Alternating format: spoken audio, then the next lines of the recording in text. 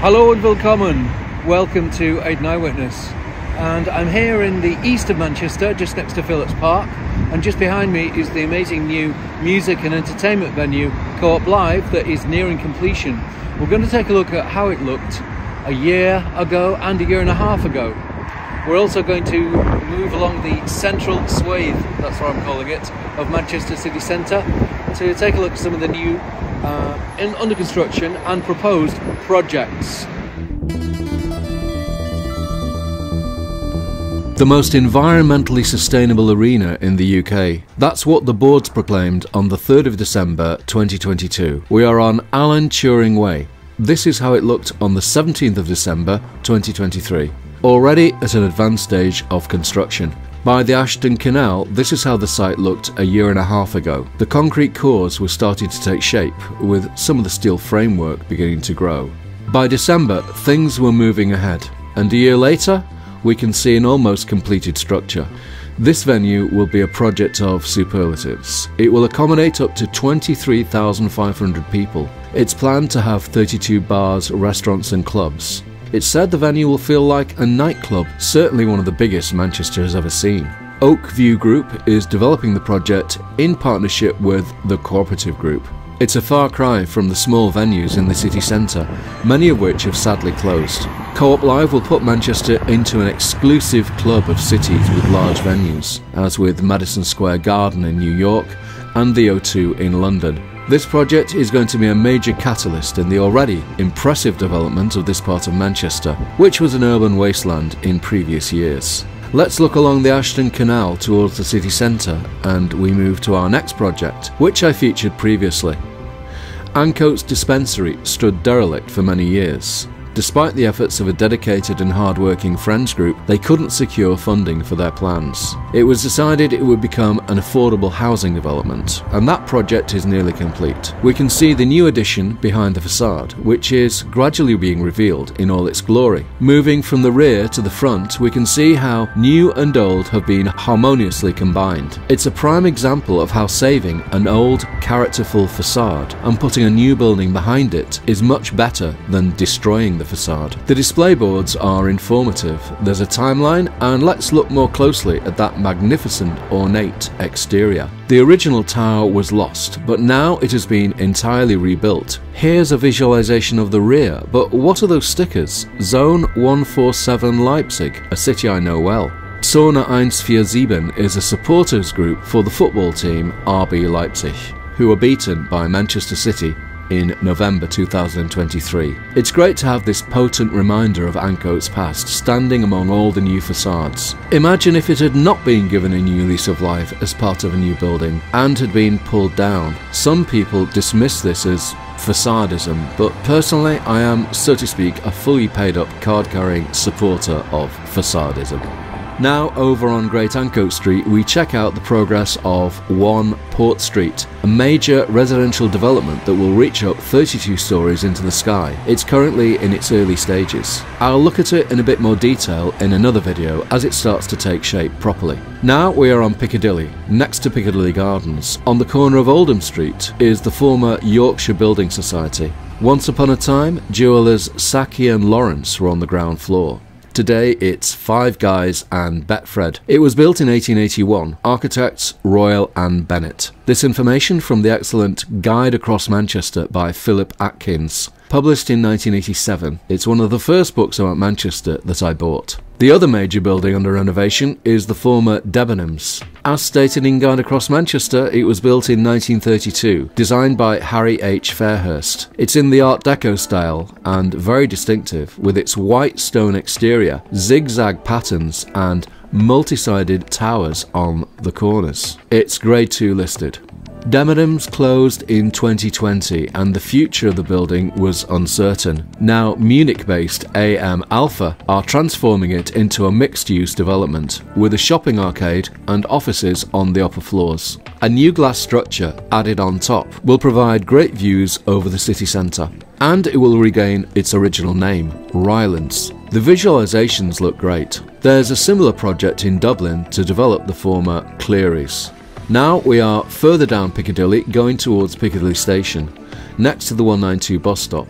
I've often admired that empty 1930s former bank building. I didn't realise it was Grade 2 listed. Now there is a proposal to build a tall tower right next to it and turn the bank into an exhibition space. The developers are Northside and they plan to construct a 32 story tower housing an apart hotel with 251 bedrooms and a rooftop restaurant. A previous plan for a 23 story budget hotel didn't materialise. The developers plan to achieve whole life net zero carbon. I see there are more and more zero carbon buildings now in planning and under construction. It's great that this distinctive 1930s building will be saved. The new tower looks great. It's not been approved yet, so I'll keep an eye on how things progress. In St. Peter's Square, I came across this demonstration by people from Hong Kong. This is relevant as many construction projects in Manchester are financed by companies in mainland China as well as Hong Kong. That's something I'd like to research further. Now we are on Lower Mosley Street and walking past the Bridgewater Hall on the left and the former Manchester Central Station on the right, we come to Viadux, a major project by Salboy in association with their construction partner Domis. Phase 1 of Viadux is already well advanced. It's a residential tower with 40 stories, 139 metres or 456 feet high. The revised plans for Phase 2 were unveiled in 2023. There will be a 76 story skyscraper and it will be 240 metres or 787 feet tall. It looks very impressive. These are the plans, which have been worked out in detail. They're not just a sketch on the back of an envelope. The skyscraper will have a distinctive jewelled exterior with facets. The triangular shape at the top reminds me of New York's One World Trade Center. Architects for the entire Viadux project are Simpson Haugh.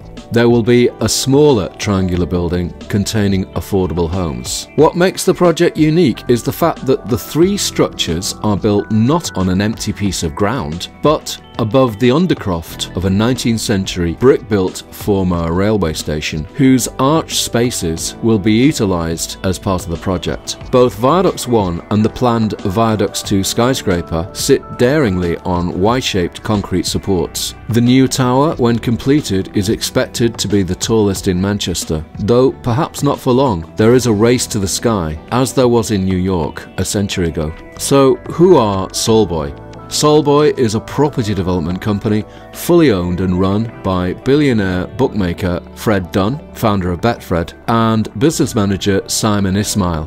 Joanne Ogden is the director. As stated on their website, they have developed 3,250 homes in the Manchester area and other parts of the UK. Their projects include Viadux, Glassworks, Victoria House, and many others in Manchester, as well as One Cluny Mews in London. They have offices on the Crescent, Salford. Now let's take a look at the progress of the Bootle Street construction site, named after the Archangel St. Michael.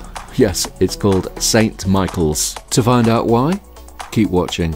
As we can see, the structure on the east side can now be seen well above the 1930s police station facade, which was to have been demolished under the original plans. We see the site of the synagogue now demolished to make way for the project. A little shocking perhaps, but many churches have been demolished in central Manchester over the last hundred years.